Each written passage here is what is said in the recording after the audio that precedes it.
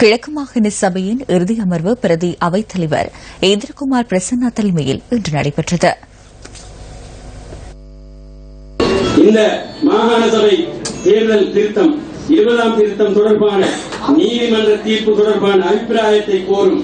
அதிமேதை ஜனாதிபதி அவர்களின் அதிகாரத்தை பயன்படுத்தி இதனுடைய தெளிவை உயர்நீதிமன்றத்திலிருந்து பெற்று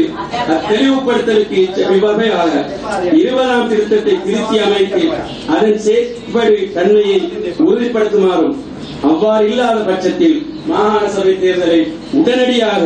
நடாத்த நடவடிக்கை எடுக்குமாறும் அதிமேதை ஜனாதிபதி அவர்களை இச்சபை வேண்ட வேண்டும் என்று நான் கேட்டுக்கொள்கிறேன். நாங்கள் தைரியமாக மக்கள் ஆணை கிடைத்துவிட்டால் நாங்கள் விடுதலைக்கு செல்வோம். இதுதான் எங்களுடைய பார்ப்போம் இதை விட்டுவிட்டு நாங்கள் சொல்றோம் இந்த அநியாயத்தை செய்யாதீர்கள் பாராளுமன்றத்திலே எல்லோரையும் கைகட்ட வைத்து விட்டார்கள் நான்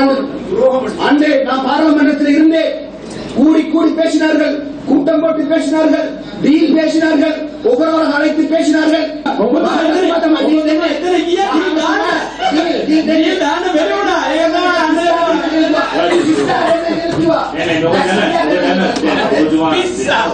ஒரு